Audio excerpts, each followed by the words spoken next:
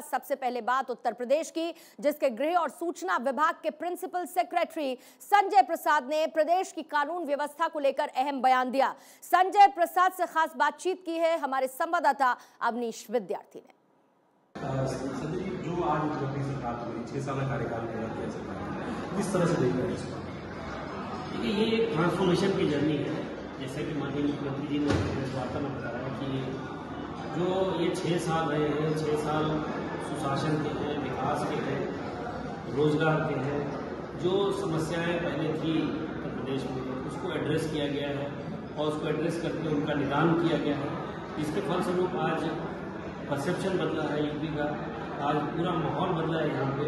और आप देख सकते हैं, चाहे वो इन्वेस्टर हो या कोई भी व्यक्ति हो आम व्यक्ति, आम आदमी हो, हर आदमी इस चीज़ को महसूस कर रहा है।